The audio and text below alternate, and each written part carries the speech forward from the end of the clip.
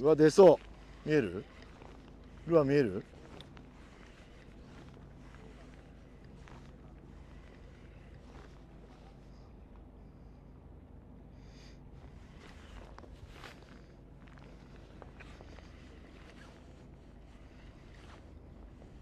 来たなうわ！おーしポッパー誘い出し！お戦闘態勢入ります。おっしゃ。うわ。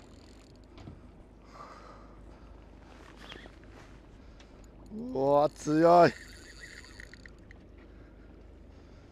よーし。ちょっと魚の中入ってるんで向きを変えますね。こっちかな。おおちょっとステイして動き出しですぐ出ましたね。はい。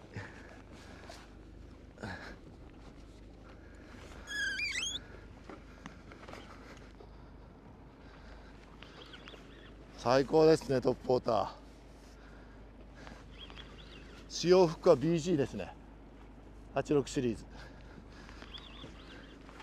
えー、っとまあポッパーとかの場合は、えー、じゃれてくるんでトリプルフックを使うんですけど、えー、長年研究してきて、えー、フロントツインのケツ1本これがバランスがすごいいいのとまあ、シングルだけでやりたいんですけどシングルだけだとやっぱどうしても半減してしまうんで、えー、フックを前ツインテールは自由度があるんで1本というのが、えー、好調化です。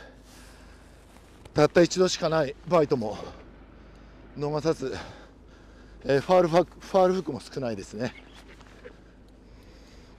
そして、えー、僕のまあアクションで大体ルアーに生命感を与えて食わしていくんですけどその時にやっぱりベリーを襲ってくるんで仕留めようとねそのベリーのフックの長さを少し変えることで、えー、釣果の差が出ます。やっぱりそこが狭いと、えー、ベリーからの、えー、自由度というかフッキングの範囲範囲が狭くなるので背中にあのしょっちゃわないぐらいでいいバランスでフックの、えー、セッティングを行ってます。まあその後ろから追っかけてきたりとかっていうのがメインの時は後ろの方を長くする時もあるんですけど、え、基本的に温暖化がちょっと長いフックが、えー、僕はえー、一番いいバランスだと思いますそしてまあこれ昔アメリカに行ってすごいあの辛い経験をした針を改良して一番針が、えー、先っぽだけでかかってもどれだけ持つかっていう、まあ、日本の、えー、リールのドラッグ性能に負けない針をということでそれが定番となって今は、えー、好調化が出ています。そこは本当にバンフックさんに感謝してます。で今回もいいサイズがなかなか超過上がってない見えですけどその中でも、えー、朝二流し目ですね。二流し目、えー、チャンスおおいやいやいやいやいやいいですよ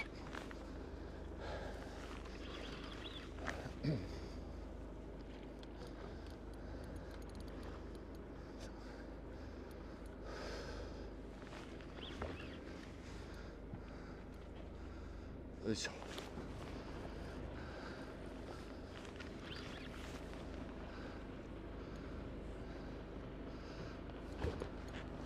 よいしょ。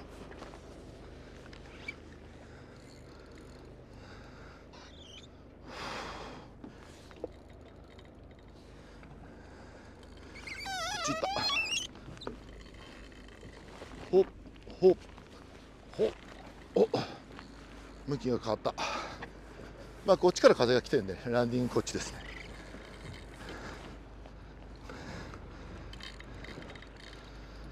ラインは、えー、オズボート7号です。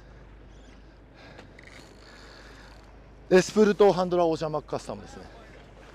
はい。この最後が技術の見せ所。ここで焦っちゃダメ。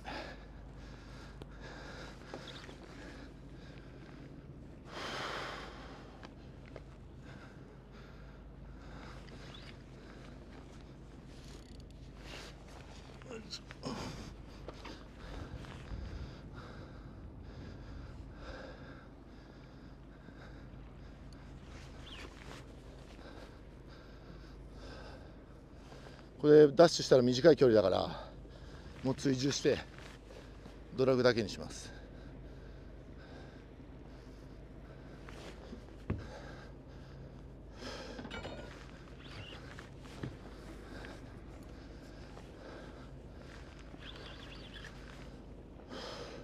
変わるパよ。変わります？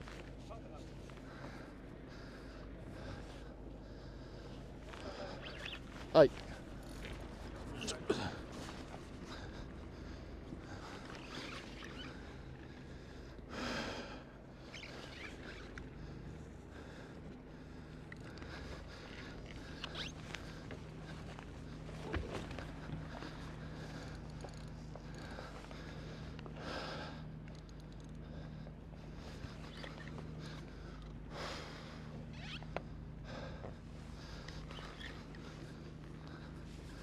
見えました。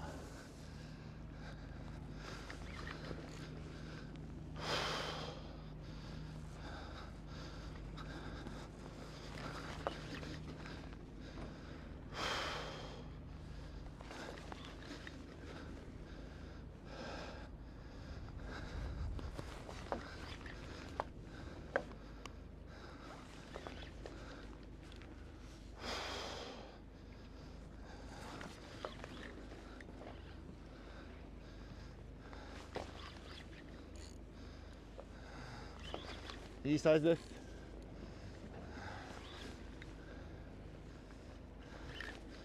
三重木原マグロです。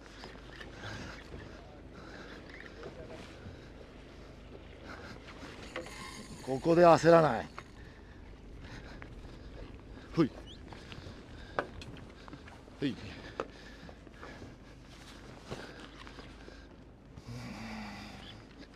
もう木原も一生懸命ですね。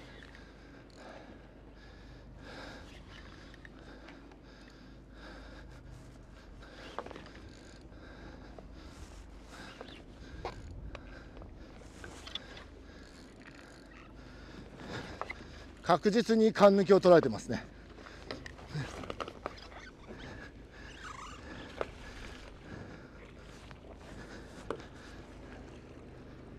いいヒレが長い木原です。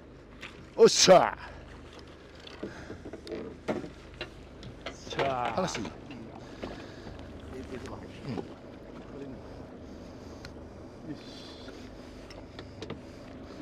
いしょ。せーの。せ。え？せーのよしよいしょ。よっしゃ。いいサイズですわ。えー、船長よ。っしゃ。いやこれ嬉しいね。よっしゃ。しゃら。しゃら。潮どかすよ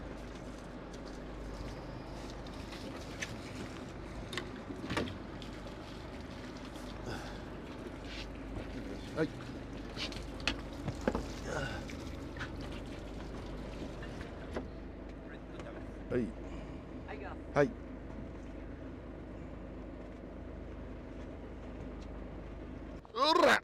あ重いぜ。まあまあ重いぜ。ああ。あ。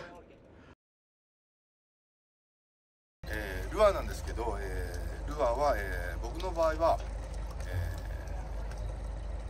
アクションさせてお腹のとこをこ食がせるようなアクションがすごい得意なのであの早引きとかで後ろから追わせるっていうリアクションよりも、えー、ちょっとスロー気味かな？スローであったりとかミディアムスローみたいな感じで、えー、泳がせて見せて魚にスイッチを入れるっていう釣り方が、えー、得意なので、え腹のフックを2本にしてます。そして、え短いと可動範囲が狭いのでちょっと長くして背中しょわないぐらい。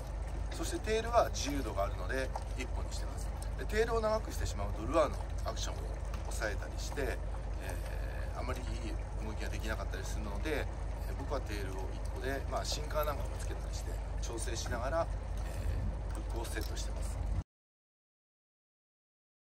えー、フックなんですけど、えー、ビーストエッジ BG86 シリーズを使ってます。こちらですねで、えー、これをセットして、えお腹のところは向かい合わせで2本テールは1本でウェイトをつけたりしています。